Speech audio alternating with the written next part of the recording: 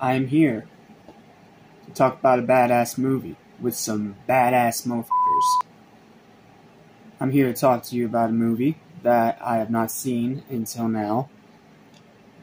And it is a movie that's the first installment of a franchise.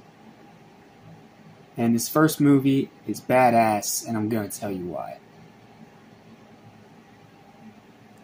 Bad Boys. I would play the song right now, but I would rather not get copyright claimed.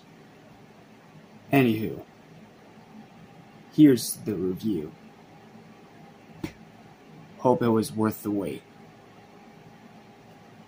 Alright, so with Ride or Die coming out this Friday, I think it's time to give this franchise a look and see if it's as good as people have been saying that it is. So naturally, I started by watching the original. For the first time, by the way. While it's not as great as some other buddy cop movies I've watched previously, Rush Hour, Lethal Weapon, etc., etc., I can say that this is still a great film that I did really enjoy, far more than I expected. Okay, I'll, I'll get rid of the tough guy facade, I'm sorry. What's up, guys? Welcome back to Animation Station. We're talking about a movie today. It's Bad Boys. Here's my review. Pros Great acting, especially from both Smith and Lawrence, who are amazing as Lowrey and Burnett solid, unique storytelling, a sharp script, excellent directing from Bay, and one of the only times he actually shows respect and decency to his audience. Not saying anything more than that. Good pacing, insanely good humor. This movie is funny as hell. Memorable characters, brisk runtime of less than two hours, very good action, high rewatchability, and a lot of instantly iconic dialogue. My baloney has a first name. Need I say more? Cons, villains are flat, third act is rushed a little. A few of the background characters can be annoying, especially the one person trying to shut down this precinct of the police, seriously. Bitch is annoying. very, very annoying. And the cinematography is a tad bit shaky.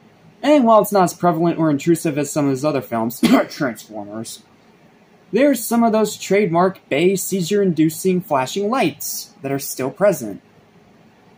They're not that intrusive, but they are there.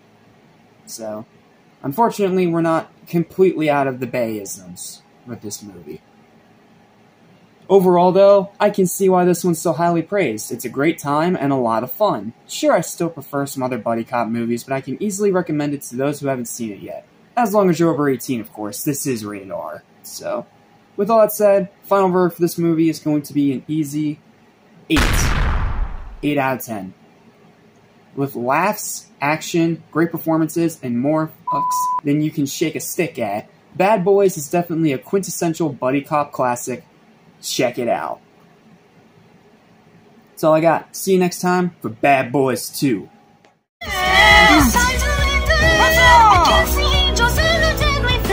We cannot take it anymore. The time is coming to. So prepare for we're ready for